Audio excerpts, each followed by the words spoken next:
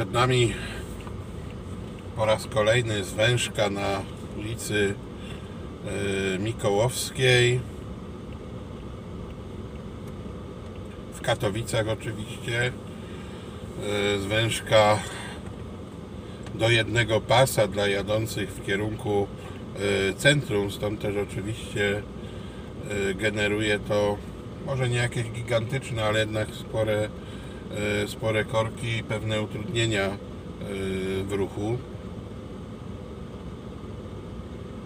Chociażby z tego względu, że e, chyba przez skrzyżowanie przejeżdżamy w tej chwili z Paderewskiego, znaczy z Poniatowskiego przez skrzyżowanie przejeżdżamy chyba mm, jednym pasem.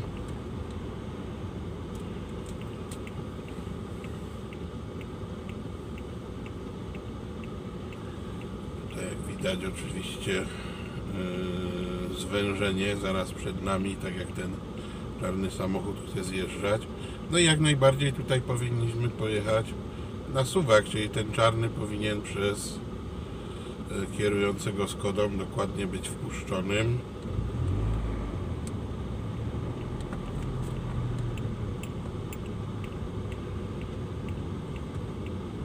No okej, ja troszeczkę wolniej ruszyłem, dzięki temu Toyotka mała mogła jeszcze znaleźć y, miejsce. No i tutaj właśnie na wysokości Aliora zwężka w normalnych warunkach można się tutaj na skrzyżowaniu rozstawić. W prawo jedziemy z zieloną y, strzałką, a tak to w pewien sposób blokujemy się tutaj nawzajem. No i to powoduje, że później na, na samym y, skrzyżowaniu i przy dojeździe do niego powstają, powstają korki. No jestem teraz na ulicy Poniatowskiego. Przejedziemy sobie tym zwężonym odcinkiem y, Mikołowskiej.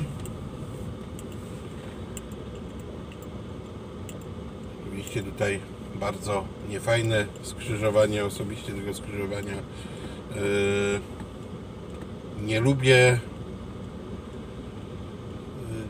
Yy, Nie jest ono fajnym, łatwym do przejazdu yy, miejscem.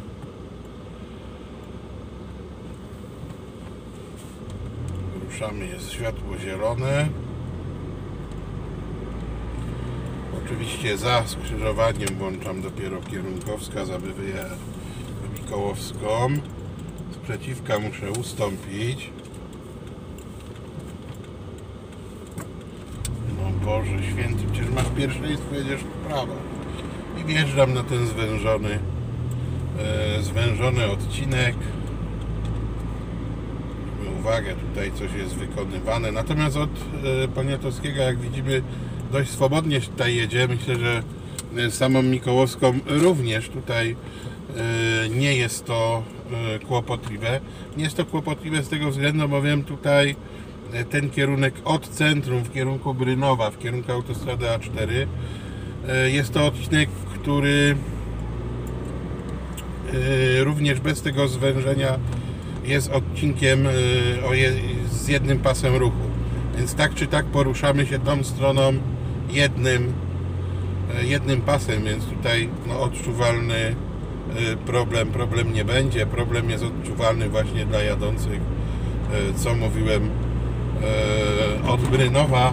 Natomiast no, problem jest także odczuwalny na samym węźle Mikołowskim.